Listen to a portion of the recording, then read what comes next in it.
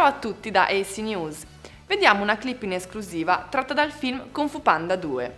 L'attesissimo film della DreamWorks uscirà in Italia il prossimo 24 agosto, diretto questa volta da Jennifer Yu e in tecnologia 3D. A dare le voci ai personaggi nella versione originale un cast hollywoodiano davvero stellare: Jack Black, Angelina Jolie, Dustin Hoffman e Lucy Liu. Got it. Stealth mode.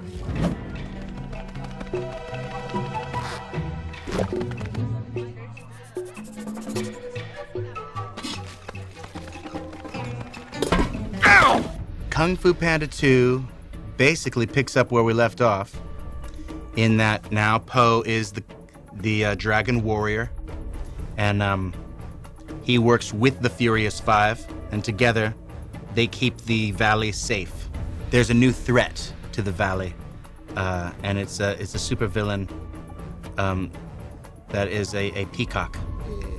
It can be a rather nasty peacock. He fits very nicely in the gallery of, of sort of Oldman villains. He has a, a, an evil plan to destroy Kung Fu and take over all of China with this new weapon that he's developed. And it's a cannon. This could mean the end of Kung Fu. But I just got Kung Fu! And now you must save it. I think Jack Black is is absolutely found his character uh, dead on. It's so good, like when an actor can do that, because you don't know whether Jack Black has created Po or Po created itself, and then he, you know, merged himself into the character. China is from China. is a national treasure. And uh, it's wrong. Kids love it. They want to hug it. And it's powerful, his eyes and everything. He's got everything to, to be a star. I, I think one would be crazy to ignore the vast physical similarities between him and Po.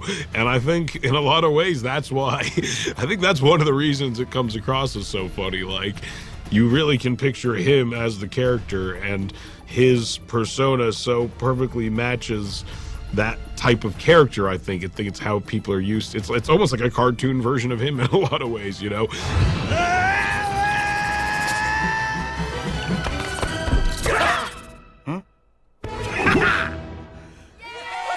Dragon Warrior! A Panda? That's impossible. My fist hungers for justice. That was my fist. I think I will be as bold to say I think it has everything a movie should have in it. I think it is absolutely beautiful. I think it shows a piece of history and culture.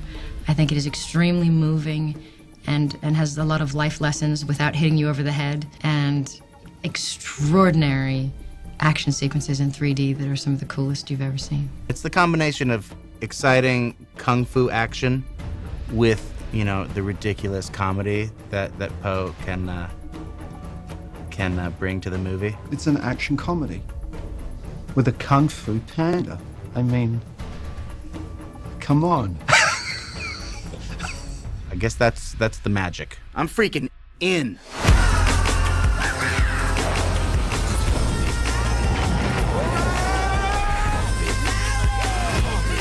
Signs! What signs? Ah!